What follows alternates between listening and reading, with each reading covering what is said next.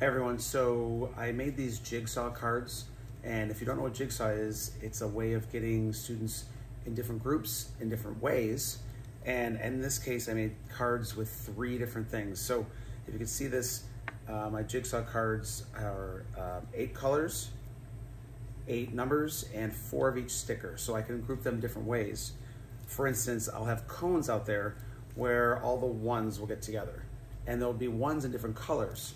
So the one from the white group will be also one from the yellow group and so forth. So there's a bunch of different colors, different note cards, and these are just note cards that I uh, drew on, I put stickers on, and then I laminated for different uh, groupings and different ways of questioning students.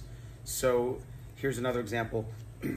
um, so again, they can get in their number groups, they can get their color groups, so then all the yellow cards, yellow group will get together, all the white will get together, and you can name them. There's home groups, there's expert groups, and then um, to even break it down further, they can be in sticker groups, and that's a hard one because they have to find their match.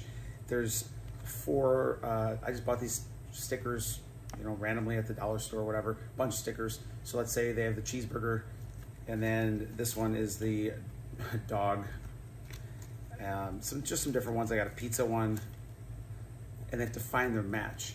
And so we can go from grouping them in groups of eight in their home group to mixed up eight where we can ask questions in their expert group, and then even break them down further into their sticker group. Uh, I don't have a great name for the sticker group, but that's what it could be called, the sticker group, or the, again, the small group, the group of four.